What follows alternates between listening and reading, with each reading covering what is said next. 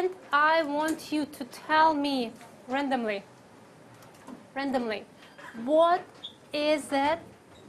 Where did we stop last session? What is it we learned last session? Randomly, randomly, randomly. I'll point at you and you'll tell me. Would it work? Would you tell me? uh, technology, uh, shape, also we shape the technology.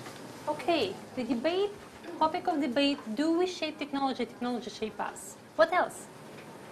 What was here? What did we learn last session? Uh, we need to think the evidence to support your argument.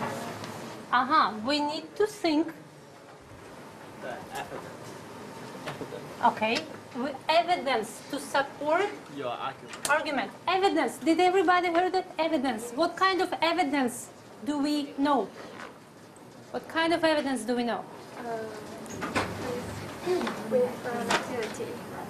Okay, Valid ones. okay, one more. conjunction Okay, something connective words Relevance. help me. Well, uh, relevance. Relevance. relevance uh, Say it in Cantonese. uh, 关联 Did everybody hear that? Is that correct? Say it again. relevance uh, Okay, you speak in Cantonese, you translate. Come on, can you? 你 Can 记 you? 唔记得咗第二个啊？第二个 relevance 同埋咩啊？有关联咯，唔系 就係一個噶嘛，兩個。Uh huh, uh huh, uh huh. 對確性。對抗性嗰個，唔記住啊，準確 relative relative relative Excellent, excellent. Did you get that in the back? Yeah. All right, all right. So we learned about relevance and validity. Relevance and validity over the topic of debate. We learned some strategies. What are the strategies? Can you tell me?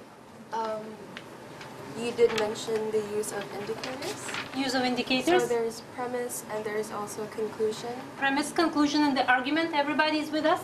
With us? With us? And those can be used as rebuttal and a counterattack the other teams.